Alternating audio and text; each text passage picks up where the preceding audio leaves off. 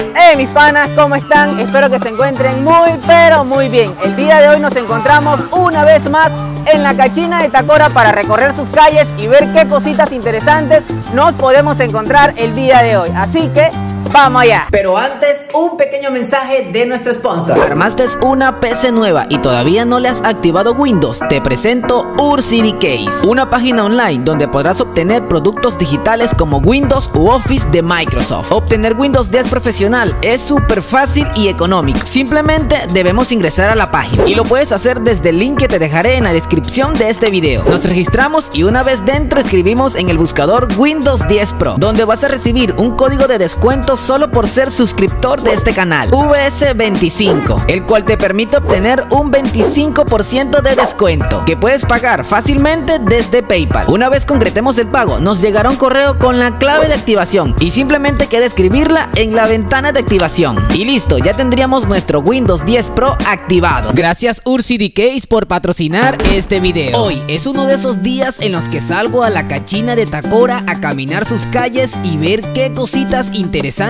nos podemos encontrar el día de hoy. Por lo general siempre ando en búsqueda de artículos de computadoras, pero últimamente como que he venido viendo muchas consolas de videojuegos, algo que me parece bastante genial y que nos ha llevado a realizar proyectos increíbles, como la Xbox 360, PlayStation 3 modificado y PlayStation 2 portátil.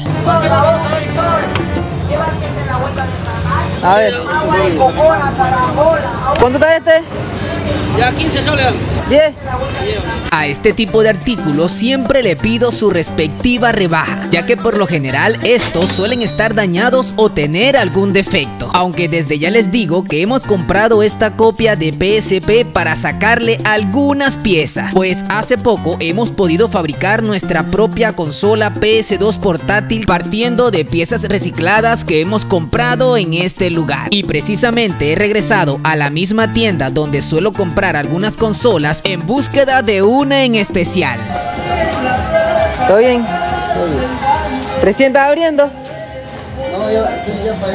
Ahí todo bien, todo tranqui, buscando cositas. Y vaya que sí hemos tenido suerte, ya que después de haber pasado un par de semanas pude encontrar eso que andamos buscando. Y no, no es este periférico con forma de pistola para PlayStation 4. Es algo mucho mejor que eso, una consola Nintendo Wii. Y es que en anteriores ocasiones la había visto pero no la había tomado mucho interés, ya que por desconocer esta consola no era algo que me interesara mucho. Pues recientemente me enteré que partiendo de esta consola, al igual que una PlayStation 2, también se puede recortar para fabricar una versión portátil.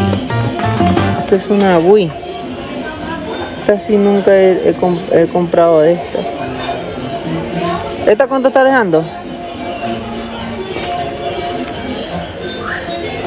Está consumando. No con su cargador.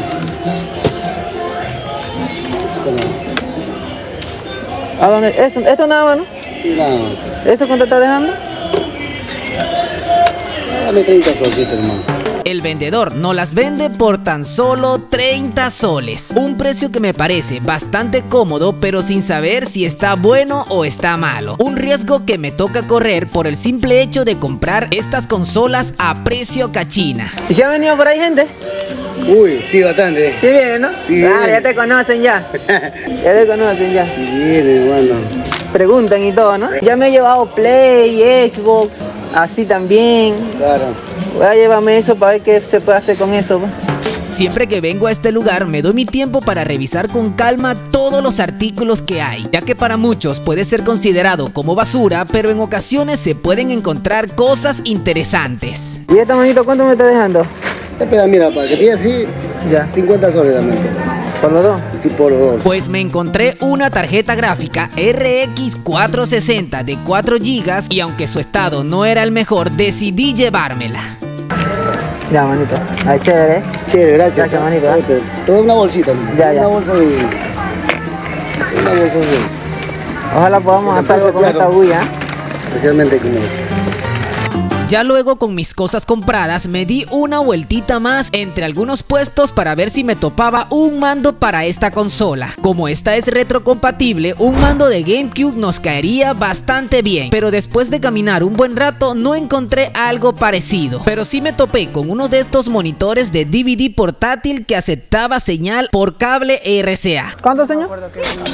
Y ya con todas estas cositas compradas, es momento de probarlas. Esta pequeña consola la comprado ya que me serán muy útil los botones que esta trae. Y aunque la compré para desarmarla, nunca está de más echarle una revisada. Así que la conectamos a un cable USB y al conectar el cargador a la energía, vaya fue mi sorpresa cuando me doy cuenta que esta consola sí enciende. Estuve revisándola por unos minutos y me di cuenta que al desconectarla del cargador, esta se apaga por completo. Esto es indicio de que su batería está completamente dañada. Y es importante mencionar que no vale la pena restaurarla, ya que sus juegos son bastante clásicos, cuenta con una pésima pantalla y reemplazarle su batería nos va a salir más costoso que el valor de la propia consola. Así que sigo pensando que lo más útil de esta serán sus botones por el cual la hemos comprado. Pasaremos a la tarjeta gráfica, un componente que no tenía pensado comprar el día de hoy. Pero ya que se presentó la oportunidad, obviamente no podíamos dejarla pasar. Para probar esta tarjeta gráfica será necesario contar con una estación de pruebas. Así que improvisamos una y antes de conectarla a la placa haremos una medición muy básica. Para ello será necesario contar con un multímetro y configurarlo en la escala de continuidad. Esto nos va a servir para detectar un posible corto anticipado y no quemar componentes de la placa. Así que posicionamos la punta negativa del multímetro en la masa de la tarjeta gráfica y la punta positiva en uno de los tres primeros pines del conector PCI Express. Si el multímetro no nos marca corto, entonces podemos conectarla con seguridad en nuestra placa. Para saber si esta nos entrega video, le conecté un cable al monitor de mi computadora. Y ya con todo listo, simplemente nos queda encenderla. Al presionar el botón de encendido, los ventiladores hacen un pequeño movimiento. Y después de esperar unos segundos, esta enciende con éxito. Pero no todo es perfecto, ya que nunca nos entrega imagen. Algo que era de suponerse, ya que por algo estaba en la cachina de Takora. Seguramente tenga reparación, pero tendremos que dedicarle algo de tiempo. Mientras tanto, seguiremos avanzando ya que aún nos quedan algunos artículos muy interesantes. Y en este caso, vamos a probar el pequeño monitor que compramos. Este lo he tenido que desarmar para poder conectarle los cables de energía. Así que con un cargador de 12 voltios conectamos el positivo y negativo en sus lugares correspondientes. Y después de esperar unos segundos, esta enciende exitosamente. Así que estoy más que seguro que la terminaremos usando para un proyecto. Pasaremos a la consola Wii, el motivo por el cual me fui hoy a la cachina de Takora. Esta nos ha venido únicamente con su cargador, así que no tendremos que estar inventando conexiones con fuente de poder para poder encenderla. Como desconocemos su estado, antes de conectarla a la corriente, es importante descartar que se encuentre en corto. Así que configurando el multímetro en la escala de diodo, para medir continuidad, haremos una medición rápida donde se conecta su cargador. Conectamos el positivo y negativo en cada uno de los pines y su lectura nos indica que no se encuentra en corto, así que podemos proceder a conectarla a la energía con seguridad. Esta enciende un LED rojo indicando que ya está conectada y al presionarlo, esta responde al encendido indicando que al menos sí está encendiendo, pero con un pequeño detalle y es que no estamos seguros al 100% si esta está funcionando como debe ser. Y es que como pueden darse cuenta, no la tenemos conectada a ningún monitor, ya que por los momentos no contamos con su conector de video. Con intención de solucionar este problema, me puse a investigar por internet y encontré que existe un conector conocido como Wii 2 HDMI. Este, al conectarlo a la consola, nos entrega un conector HDMI, algo más moderno que la salida de video por cable RCA. Así que será necesario buscar este adaptador y probarlo en nuestra consola. Buscando por Marketplace encontré que este adaptador es súper económico, así que sin pensarlo me compré uno de estos. Lo conectamos a la Nintendo Wii y ya podríamos probar esta consola con cualquier monitor que posea conexión HDMI. Ahora bien, para probar esta consola estaré utilizando este pequeño monitor, el cual recibe la señal por su conexión HDMI. Así que lo conectamos y ya estaríamos listos para probar nuestra consola Wii por segunda vez. Para ello será necesario conectar nuestro pequeño monitor a su cargador de 12 voltios. Y después de haber encendido la consola, esta nos entrega imagen desde el monitor que le hemos conectado.